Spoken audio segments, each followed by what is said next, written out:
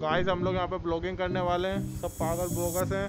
हम लोगों ने हमारे आगे लिख दिया है। जो भी पढ़ सकेगा उसको हम वो गिफ्ट देंगे। चलिए निकलते हैं। गाइस बिल्कुल अंधेरा अंधेरा है। समझ नहीं आ रहा हम लोग कहाँ आ चुके हैं। पर ये भी मेरी ब्लॉगिंग करने में बहुत ज़्यादा मज़ा आ रहा है। कभी सोचा नहीं था कि रात को तीन बजे ऐसे अचानक उठ के हम लोग ब्लॉग बनाएँगे।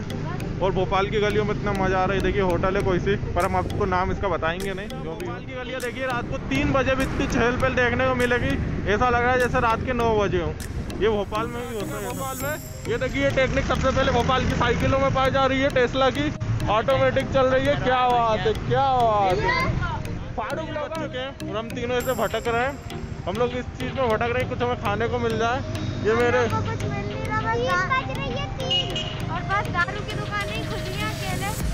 अब हम बड़े परेशान हैं। मुझे रात को एक छोटी विजय की दुकान खुली है अशोका गार्डन वाले। छोटू ये फाड़ू लोगों से तो लिखा हुआ है ये। निकला भी नहीं। तभी आपको ये चीज़ें दी जाएँगी। आपने हमारे लिए इतना किया इसलिए आपको एक चॉकलेट दी जाती है